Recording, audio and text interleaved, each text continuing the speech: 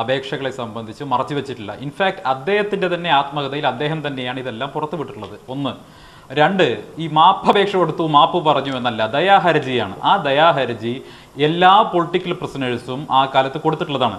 ഞാൻ നേരത്തെ S A ഡാങ്കയെ കുറിച്ച് പറഞ്ഞു. അദ്ദേഹം കമ്മ്യൂണിസ്റ്റ് പാർട്ടിയുടെ ഏറ്റവും സമുന്നതനായിട്ടുള്ള നേതാവായിരുന്നു. എസ് എ ഡാങ്കയെ കൊടുത്തിട്ടുണ്ടോ? എന്തുകൊണ്ട് ഞാൻ എസ് എ ഡാങ്കയെ ഞാൻ കോട്ട് ചെയ്തപ്പോൾ സി പി എമ്മിന്റെ നേതാവ് ഇവിടെ എസ് എ ഡാങ്കയെ കുറിച്ചുള്ള ചർച്ചയായല്ലോ എന്ന് പറഞ്ഞ് സ്കിപ്പ് ചെയ്തു.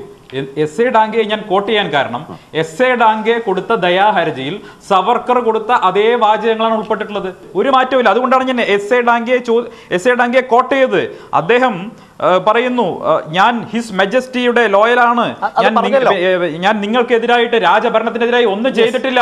ഞാൻ ഇനിയും നിങ്ങളുടെ ലോയൽ ആയിരിക്കും. എന്നൊക്കെ എസ് എ ഡാങ്കെ ഒരു സെക്കൻഡ് ഒരു സെക്കൻഡ് ശരത്. നിങ്ങൾക്ക് നിങ്ങൾക്ക് ഇഷ്ടമില്ലാത്ത പോയിന്റ്സ് വരുമ്പോൾ.